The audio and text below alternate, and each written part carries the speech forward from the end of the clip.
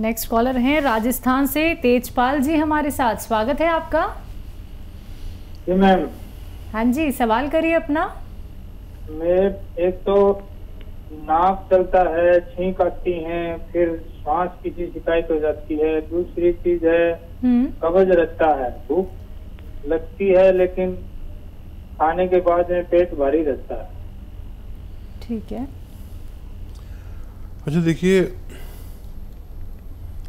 सांस का इलाज ज़रूर करें। जिन लोगों को भी सांस की या लंग्स की, फेफड़े की प्रॉब्लम है, चीखों की, उनको इस वक्त सारी तवज्जो अपने इस मर्ज़ पर देनी चाहिए और इसके लिए माजून आर केयर आपकी इम्यूनिटी को बूस्टअप करके आपके इस मर्ज़ में फ़ायदा करती है, लेकिन पाँच छः महीने लगातार लें।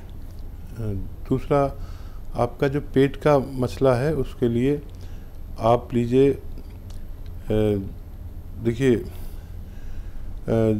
सौ ग्राम ज़ीरा 200 ग्राम मेथी 100 ग्राम ज़ीरा 200 ग्राम मेथी अ, 100 ग्राम धनिया और 100 ग्राम धनिया और 200 ग्राम अलसी और एक दवा आती है एक एक नमक आता है जिसे कलौंजी का नमक कहते हैं। नमक कलौजी भी कहते हैं, कलौजी का नमक भी कहते हैं। ये कलौजी का रसायन होता है जो एस्टेक इंग्लिश में जिसे कहते हैं। वैज्ञानिक लोग एस्टेक कहते हैं।